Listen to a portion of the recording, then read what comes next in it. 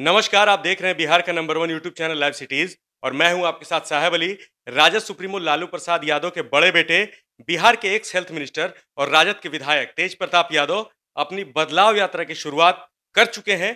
पटना ज़िले के मनेर से उन्होंने शुरुआत की है और इस बीच राजनीति भी काफ़ी गर्म हो गई है क्योंकि मनेर जो इलाका है, वो राजद के विधायक भाई वीरेंद्र का इलाका है और कहीं ना कहीं राजद के जो विधायक हैं भाई वीरेंद्र और तेज प्रताप यादव के बीच जो कलह की बात है, वो जगजाहिर है।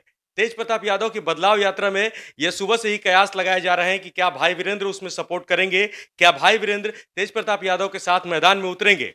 लेकिन इस बीच विधानसभा परिसर में भाई वीरेंद्र ने जो बयान दिया है, उसके हिसाब से कहीं ना कहीं भाई वीरेंद्र को इस बारे में कोई जानकारी ही नहीं है। आप पहले सुनिए, बहुत ही मुख्तसर सा बयान है, बहुत छोटा सा बयान है, लेकिन इसके मायने बहुत कुछ निकाले जा रहे हैं।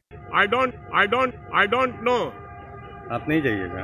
मैं हमको जो पता ही नहीं है कि कौन सा कार्यक्रम कहाँ है कौन लोग कर रहे हैं आई डोंट नो भाई वीरेंद्र का एक टूक में जवाब था आई डोंट नो यानी कि मुझे पता नहीं है कि क्या कुछ चल रहा है। अगर कोई ऐसा कार्यक्रम रखा भी गया है तो उस बारे में उनको जानकारी नहीं है। आपको याद होगा कि तेज प्रताप यादव का जनता दरबार पटना में चल रहा था उस दौरान जब लोकसभा की जो सीट है पाटलिपुत्र उसके बारे में जब पूछा गया कि आखिर वहाँ से राजद का उम्मीदवार कौन होगा तो तेज प्रताप यादव ने दो टूक जवाब दिया कि मेरी बड़ी बहन मीशा भारती के अलावा और कोई उम्मीदवार हो ही नहीं सकता।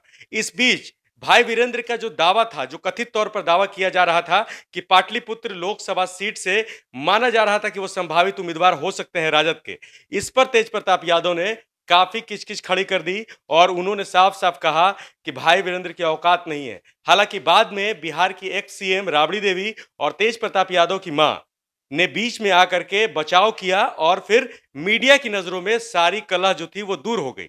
लेकिन अंदरूनी कला क्या है?